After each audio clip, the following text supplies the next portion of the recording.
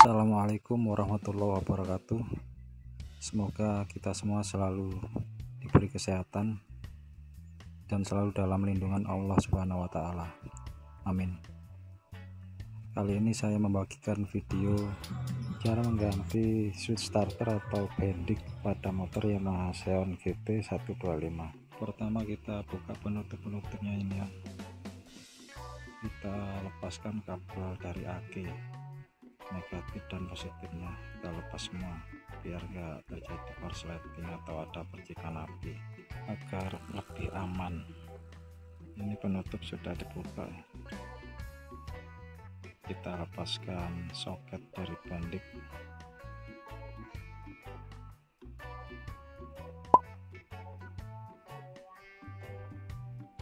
sekringnya kita lepas. Karena di bandik yang baru itu sudah ada sekringnya baut-baut kita lepas semua.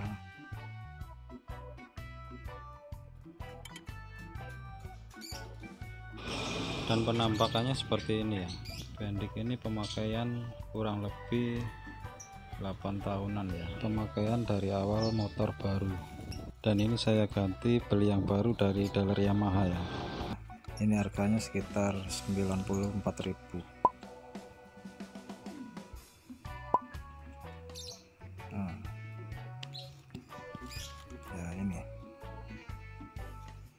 Oke saya lanjut.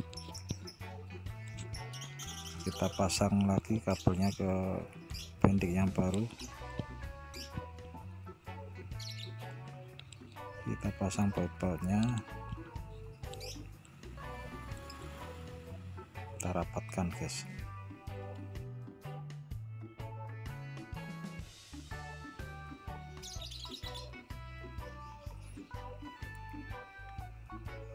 soketnya kita pasang lagi.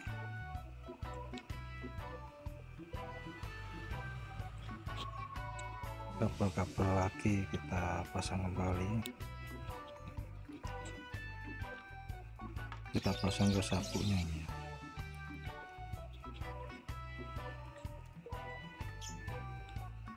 Kita pasang penutup karet. Oke selesai guys. Kita coba Bismillah.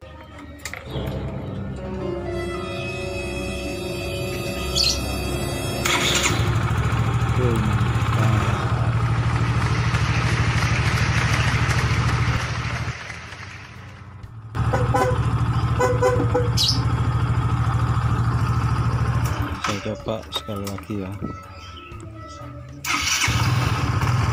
Oke berhasil ya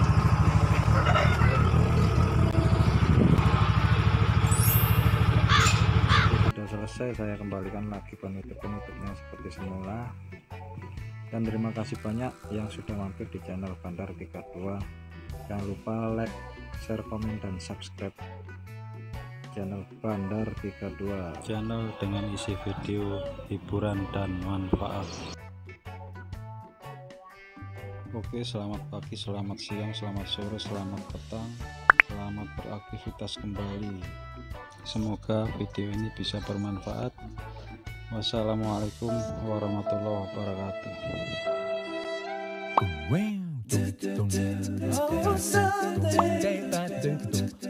Oh,